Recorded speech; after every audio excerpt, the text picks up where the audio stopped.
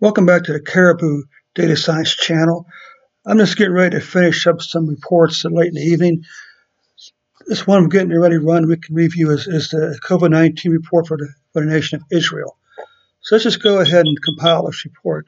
If you're interested in the code for the report and the data, I'll include that information in the uh, description below. So let's take a look, see if there's any improvement here. So this is Israel's battle with COVID-19. If you look here, this is interesting. It almost follows exactly the U.S. case total. A steep incline, a spike in April, another spike beginning in June, and some decline based on a 14-day moving average, which is the red line.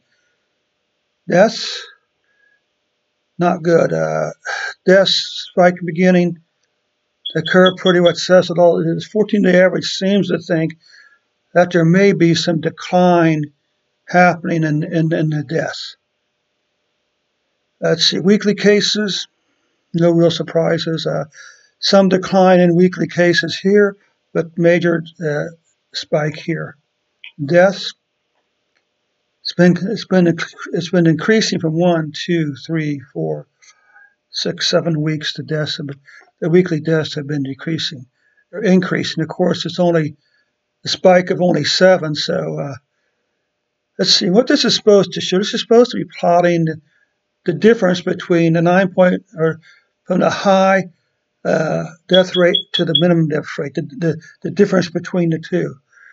And this is the estimated lives saved by the, by the, by a change in the in the in the, in the death by declining death rate. You can see starting to climb.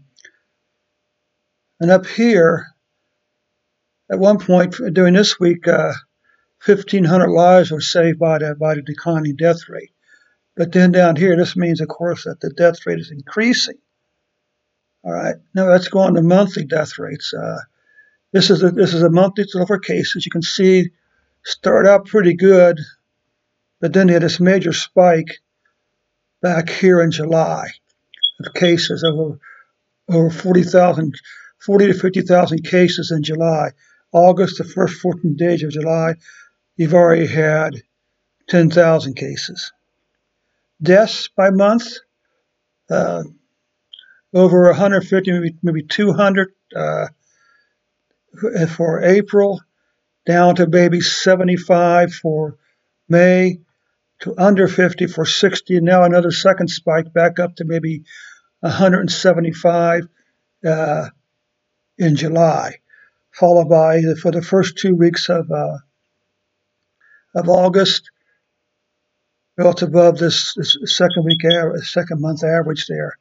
Monthly death rates, uh, five percent, climate drop back down to under one.